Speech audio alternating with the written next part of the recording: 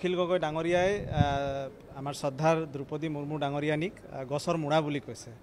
তেওঁ এই কথাটো কোৱাৰ যোগেদি তেওঁৰ যিটো মনোবৃত্তি সেইটো প্ৰকাশ পাইছে।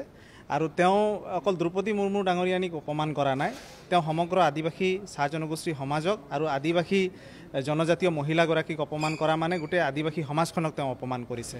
গতিকে ইয়াৰ নিশ্চয় বিৰূপ প্ৰভাৱ পৰিব আৰু এই অখিল গগৈ ডাঙৰীয়াৰ আচল স্বৰূপটো ওলাই পৰিলে তেওঁ নিজকে দলিত কৃষক খেতিয়ক খেতিয়কৰ নেতা বুলি তেওঁ নিজকে জহায়।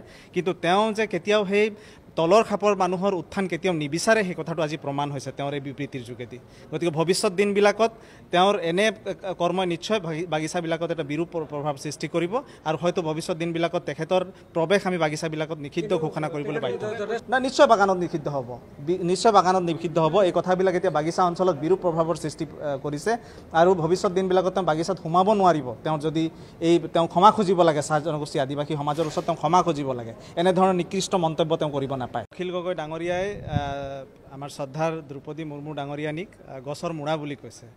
তেওঁ এই কথাটো কোৱাৰ যোগেদি তেওঁৰ যিটো মনোবৃত্তি সেইটো প্ৰকাশ পাইছে। আৰু তেওঁ অকল দ্ৰৌপদী মুৰ্মু ডাঙৰীয়ানীক অপমান কৰা নাই তেওঁ সমগ্ৰ আদিবাসী চাহ জনগোষ্ঠী সমাজক আৰু আদিবাসী জনজাতীয় মহিলাগৰাকীক অপমান কৰা মানে গোটেই আদিবাসী সমাজখনক তেওঁ অপমান কৰিছে। গতিকে ইয়াৰ নিশ্চয় বিৰূপ প্ৰভাৱ পৰিব আৰু এই অখিল গগৈ ডাঙৰীয়াৰ আচল স্বৰূপটো ওলাই পৰিলে তেওঁ নিজকে দলিত কৃষক খেতিয়ক খেতিয়কৰ নেতা বুলি তেওঁ নিজকে জহায়। কিন্তু তেওঁ যে কেতিয়াও সেই তলৰ খাপৰ মানুহৰ উত্থান কেতিয়াও নিবিচাৰে সেই কথাটো আজি প্ৰমাণ হৈছে তেওঁৰ এই বিবৃতিৰ যোগেদি।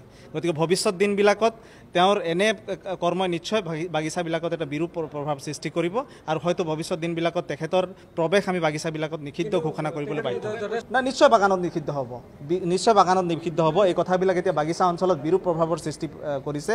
আৰু ভৱিষ্যত দিনবিলাকত তেওঁ বাগিচাত সোমাব নোৱাৰিব। তেওঁ যদি এই তেওঁ ক্ষমা খুজিব লাগে চাহ জনগোষ্ঠী আদিবাসী সমাজৰ ওচৰত তেওঁ ক্ষমা খুজিব লাগে। এনেধৰণৰ নিকৃষ্ট মন্তব্য তেওঁ কৰিব নাপায়।